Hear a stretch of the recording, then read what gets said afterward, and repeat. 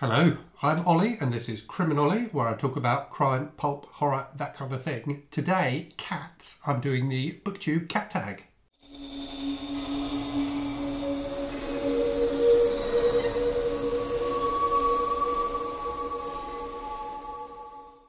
So I was tagged um, in this by Michael K. Vaughan, who did the BookTube dog tag, albeit he did it about his monkey and his rabbit. Um, I'll put a link to that video um, in the description if I remember because it was it was a very very funny video. Um, I can't promise that this will be as amusing. Um, I am going to talk about my cat though, Venus. Um, so you may have seen Venus crop up in um, various videos before now. she does she does show up every so often. I'll put some uh, some B-roll footage of her in as well so you can see what she's like. but yeah, there are seven questions about cats. So this is a, uh, I think it was originally the dog tag, but you can do it as the cat tag as well. Um, and Michael challenged anyone with a cat to, to do so. Um, so let me go through the questions and tell you about Venus. So first question is, uh, tell us about your cat. So Venus is a Selkirk Rex, um, which is like a, a fancy breed, um, and she's very um, she's very sort of pedigree in terms of being uh, a bit dysfunctional and very lazy, and she just sort of sulks around the house all day. Um, she does go out in the garden, but only really if there's adults or you know people, humans out in the garden. Um, and yeah, basically she just likes being petted and uh, you know being looked after. Um, she's she doesn't do cat stuff like she doesn't climb fences or climb trees. She's kind of vaguely interested in birds, but she never really chases them. Um, so yeah, she's she's more of a, an ornament than a cat in in many ways, but we love her very much. Um, she's nine years old, I think nine or ten, so she's getting on a bit now. Um, but yeah, she's been a, a, part of our family since my son was young.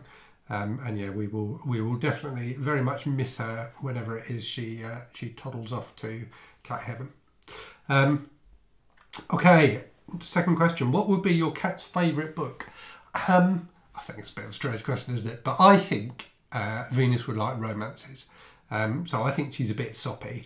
Um, and I think she would like uh, kind of Regency romance type things with, you know, pretty dresses and things like that. So I think maybe, you know, Pride and Prejudice or something like that um, something with a bit of glamour to it uh, and a bit of a bit of romance uh, and you know a bit of a plot. I think she's just about bright enough to um, to understand a slightly complex plot, but nothing too difficult.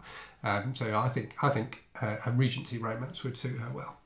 Um, right, next question. Uh, use the first letter in book titles to spell your cat's name. So where did I put the books? Oh, I put them over here. Hold on, let me reach for the books. Right, so as, as I said, her name is Venus. So I have got um, The Vampire or Detective Brown's Greatest Case, um, America's first vampire novel, which I still haven't read yet, but I really need to read. So I was sent this by the publishers, uh, Strangers from Nowhere. I read another book that they've published, which was a novelisation of a um, a Hungarian silent vampire film, which was fantastic. Um, so I really do need to read this. It looks like a lot of pulpy fun. Um, so anyway, that's that's the V.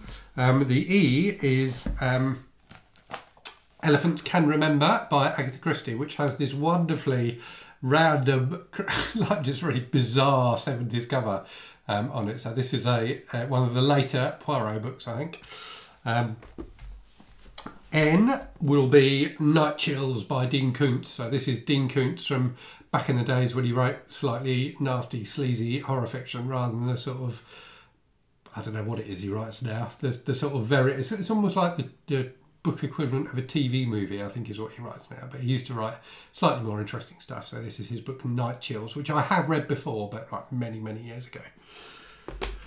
Uh, U will be Unbalanced Acts by Jeff Raines, which is a book I've talked about on the channel before um, because of the bizarre coincidence surrounding it, in that my son, when he was a lot younger, used to make up stories and was saying he thought I should write a book about um, someone who frees a load of serial killers from prison um, in order to terrorise a city. And I remember that there was a book that I'd read about that, but couldn't remember anything about it other than that. And then a few days later was in a um, a second-hand bookshop um, and found this book, which is the book that I had read before um, with that same plot. So I do need to give this a reread. I haven't managed to reread it yet. Um, but yeah, Unbalanced Acts by Jeff Raines.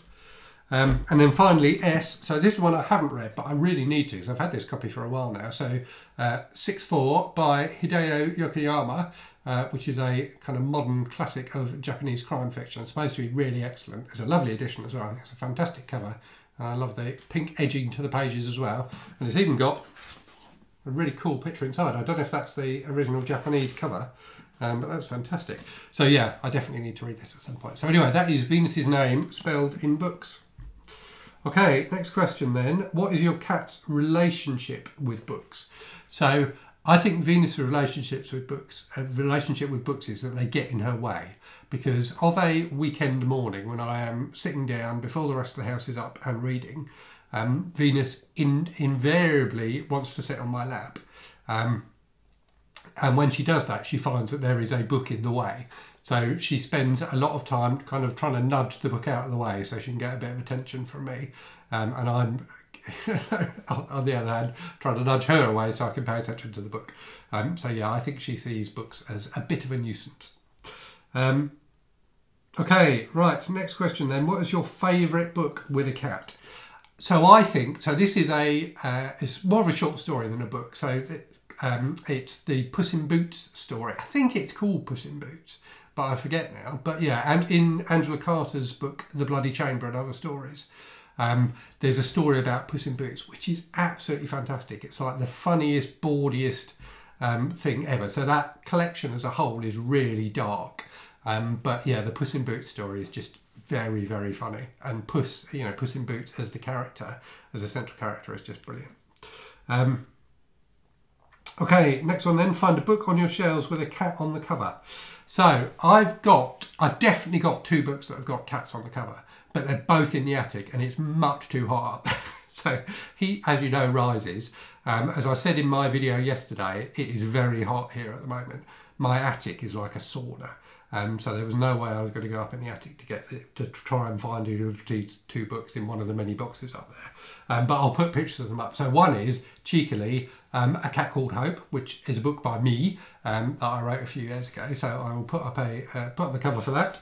Um, the other one, um, rather less cheekily and more uh, more in line with the thrust of the channel, is The Cats by Nick Sharman, um, which is a really trashy um, British horror novel from I think I can't remember if it's from the 70s or early 80s, but not long after The Rats by James Herbert came out and was a huge success.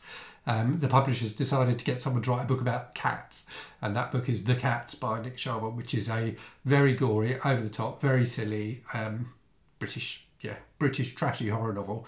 It's what it's a book that's featured in paperbacks from Hell, the Grady Hendrix books, um, and it is a lot of fun. It is it is quite entertaining. Okay, next question. And I actually I missed this question out and just realised at the end of filming, so I'm going to insert it through the magic of editing um, into the video. So if it looks a bit um, less than seamless, that's why. If I hadn't rambled on about the fact I missed it, you probably wouldn't have even noticed. But anyway, it's too late for that now. So, the question is find a book in your TBR that has the word cat in the title or has a cat in it. So, I don't think this book has either of those things. It may have a cat in it. Um, but yes, the book is Puss in Boots by Ed McBain, which is one of his Matthew Hope mysteries. So I'm working my way slowly through the Matthew Hope series at the moment. I'm up to about book three or four. Um, so I haven't read this one. I don't know if it's got a cat in it. It hasn't got the word cat in the title, but it's got puss in the title, which is another another word for cat. So I will take that as a as a reasonable answer to this question, if not a brilliant one. Okay, final question then. Who would you like to tag? So I was trying to think of people who I know have definitely got cats um, who haven't already been tagged in this. I couldn't think of any. But if you are one of those people, if you're watching this and you've got a channel and you've got a cat, then please go for it and uh, and make your response to the BookTube cat tag. Okay, time for that uh, moment in the video when I pluck a random book from the shelf. So today's book um, is another one of those books I've just had forever and still haven't read, which is World War Z by, uh, or World War Z if you're American, by Max Brooks. Um, so I had a, like a, uh, I will confess, a dodgy um, a dodgy ebook copy of this like years and years and years ago when it first came out and, and never got around to reading it. And then subsequently, uh, probably five years ago, um, in a supermarket, like secondhand book, you know, charity book sale, um, found this copy, um, which is a weird shape. Um, so I don't know if you can see that, but yeah, if you compare it to this McBain, it's too too tall and uh, not wide enough. so yeah, I don't know why it's this shape. Um, but yeah, I picked it up and still haven't read it. So I've read, I have read uh, Max Brooks's other novel, Devolution, which I really enjoyed, his Bigfoot novel. So I really should go back and read World War Z at some point. But yes, have not managed to yet. So as always, thank you very much for watching. If you're a cat owner, do let me know about your cat in the uh, in the comments. I'm a big fan of cats. Um, I definitely think, uh, or I, I, mean, I don't dislike dogs, but I, I do prefer cats. I'll be honest. Um, they just seem like less hassle than dogs. Dogs seem like an awful lot of work, to be honest with you. Um, anyway, that's probably lost me a few, that's probably lost me a few subscribers. Um, yeah, thank you very much for watching. Hope you're safe and well. Hope you're really good stuff, and I'll speak to you again very soon. Cheerio.